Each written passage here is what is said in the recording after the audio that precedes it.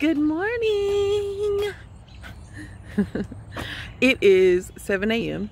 and I was up at like quarter to six, right? But I had to take care of the baby before I came out in the garden. It is the 4th of July and yeah, uh, it's a, it's a pretty day.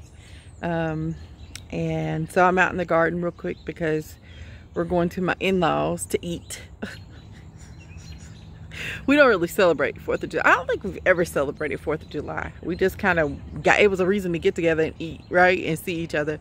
Um, but anywho, so I'm in the garden. I'm just looking to see how things are going. And, um, and then I'm to do some work. So I planted some zucchini about a week ago, some zucchini seeds, and they have come up. They're looking great. And so I'm to let y'all see those.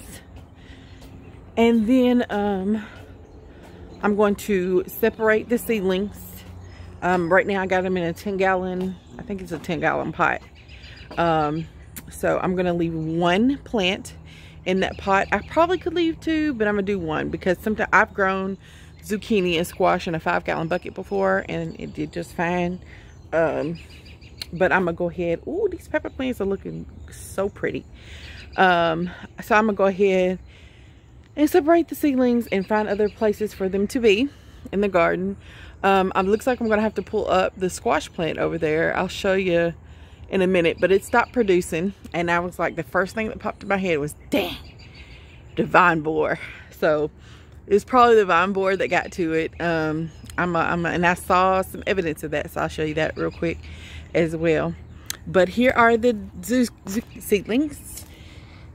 They are looking quite healthy already have a, uh, the first set of their true leaves. So for, or the first true leaf. So the, for beginner gardeners. So these are the two sprouts here. Um, these are the two leaves that come up when the seed sprouts. And there's the first true leaf. And there's another one about to come out there. So this is uh, Black Beauty Zucchini. And so um, all the seedlings look pretty strong. There's uh, one, two, three, four total. So I have, I can toss them all, pick the strongest one, the prettiest one, the one that looks like it's going to do well. Um, keep it in the pot and toss the rest. Or I can repot them. So that's what I'm to do. I'm to repot these. Um, and probably, I don't have a lot of buckets left. So I'll probably just put them in some gallon pots until I find another place for them to go. Um, but the gallon pot will give me some time to do that. Um, so actually I do have a couple more 10 gallon pots. So I don't know. We'll see. Look at how beautiful these pepper plants look. Those are sweet potato vines. Uh, there are sweet potato slips or plants. Um, so we might have some sweet potato. I don't know. I planted them kind of late, so we'll see. Uh, but look at how beautiful that pepper plant is. It's so cute. And just green and like deep, uh, like this deep green. And there's a fruit on it. Let's see if I can see. Uh-oh. What, um, sorry, I've got these gloves on. It's hard to, look at how pretty um, see what this is. I bought this at the store. And this is a orange bell pepper. Okay. Orange bell. I bought this one at the store too. So let's see. I'm trying to, um, all the peppers I grew are in the garden. This is a green bell. So it's looking great. Uh, bell peppers can be pollinated just like that. There's no male and female flowers. Um, this is a, this one I did grow myself. This is a giant Marconi pepper. No fruit yet, but the plant looks delish. Ooh, look at that. This is a, I grew this one myself. This is a Jimmy Nardello here. That looks like a jalapeno there. Let's see. Ooh. Uh, sweet banana, sorry. And then this is got this has fruit on it too. They're looking great. Uh, this is Cubanelle. Okay. So that's all my peppers in containers right now. And um, so they're looking great. So you might have seen some like brown flowers on some of the plants. Um, like this one. And that's just because when it gets hot, um, sometimes the flowers dry up and die. It's no biggie. They'll set more. So I'm going to make sure these guys are watered in today. And one way I check to see if they need to be watered is I try to pick the bucket up. And if it feels quite heavy, that may give me a clue. I also move back the mulch and stick my finger down just like that to see. And if the soil isn't really sticking to my glove at all, then it probably needs to be watered. Now, it's hard to tell with gloves on, or I meant sticking on my finger. But I'm also going to dig down and just do this, flip the soil under, and it seems pretty. And I went down pretty, you know, the length of my finger. Um, and it looks pretty dark. So, we might be good with watering, actually. Yep. Um, and you can do that in every pot. Use your best judgment, you know, whatever. But that's how I check to see if it needs watering. Sometimes I can tell that I've overwatered if my plants look kind of green and purplish. This may be an overwatering and this five gallon pot is pretty heavy. It's heavy on its own anyway, right? But I'm gonna check again. Um, Mm. So sometimes I think I've overwatered this to be all honest. Um, this is a white Tomesol tomato, but um, so I'm gonna let it go again. It rained pretty hard and decent about three days ago, two days ago, and so I might just give it a minute. That also may tell me the way that plant looks that I need to fertilize it just a bit because it's not as green as I would like it to be. Where in the heck am I going to put all of these okra plants? Ooh, this raspberry is looking kind of sparse.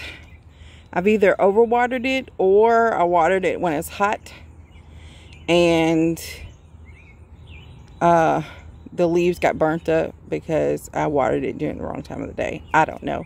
This one looks pretty decent. So I'm not sure what, what's going on. the Armenian cucumbers are looking really well. And they have tendrils finally. So, um, you see the tendrils?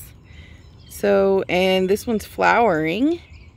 So we'll be having some fruit very, very soon.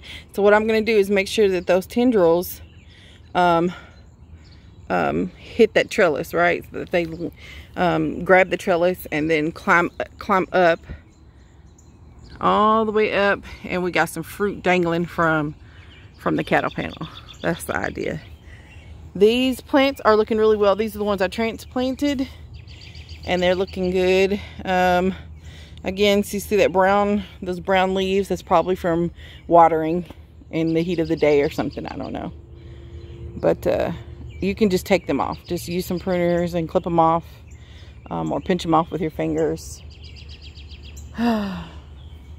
Blessed be the squirrels.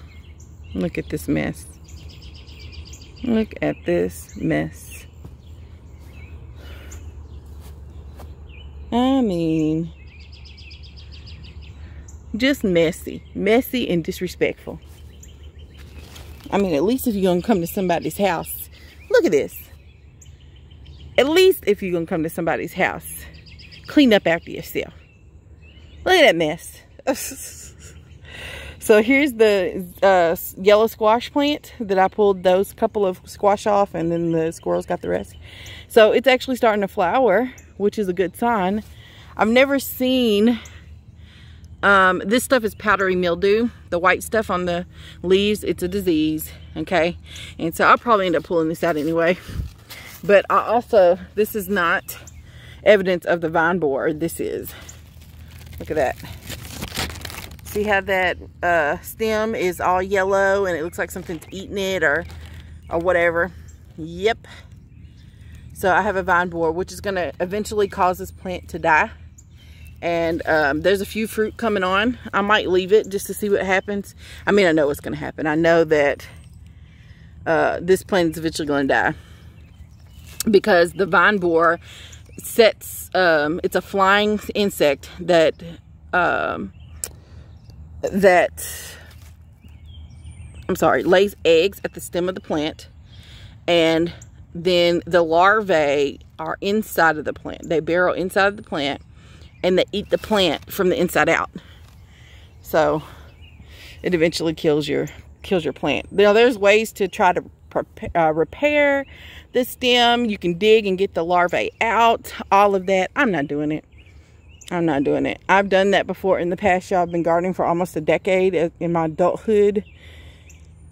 I'm just not. I just, I've tried it all. I've tried putting aluminum foil on the stems, try to put cinnamon and pepper spray on the stems. I've tried all kinds of stuff and it doesn't mean it doesn't work because it did work sometimes, but it's just a lot of work and I really don't have time for all this labor. Um, what I need to do is just plant more and then uh, and and probably hand pollinate in my area. Everybody didn't have problems with vine borer, but in my area I do. And so um, if I chose to grow these in, in a larger scale, on a larger scale, even if it's 10 plants or 20 plants, you know, um, I'd probably need to hand pollinate myself and then cover them with um, some netting, or not netting, some um, uh, row cover or some type of mesh cloth. That way the vine borer can't get in and lay eggs.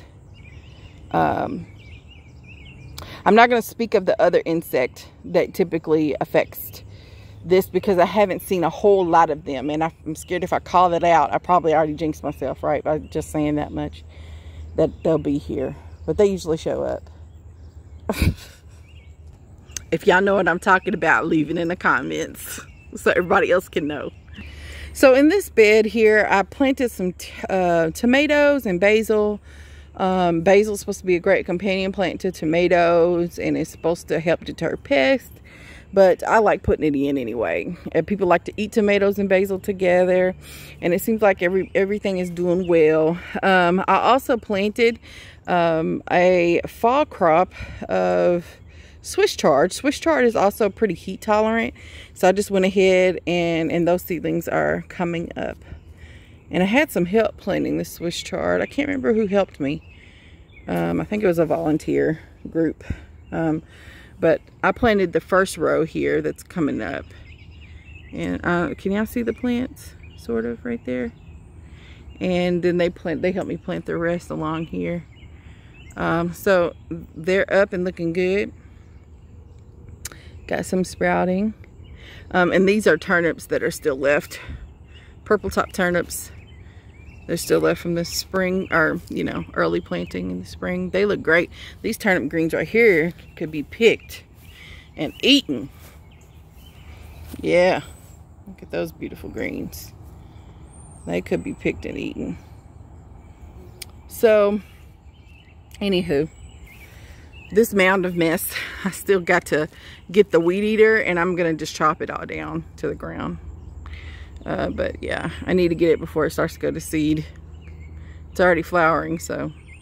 And like filled with powdery mildew, right? You see all that white stuff? Yeah. All right, here's the purple, uh, well, red burgundy bush beans. And let's see. Um, oh, okay. Those look good. Look at those plants coming up. Let's see how many I got here the more you pick, the more it puts on. And I have not picked since I had a volunteer pick and he took all of them home with him, which is cool. It was one of the teen groups that I had here. And I need to, I need to get in here and pick more. Um, oh, look, look at there. Yeah. So I'm about to harvest these this morning and we can maybe take them and the family could eat those. But all right, y'all, I just wanted to show you a few things. I hope everybody is doing well and uh, have a good day. Y'all have a great day. if you're out with your family, still be careful. COVID's still around, you know, you know, but it's cool to get together and see each other because this past year has been hard on everybody. Um, and I just wish y'all the best. I love y'all so much. I'll holler at you later. Peace.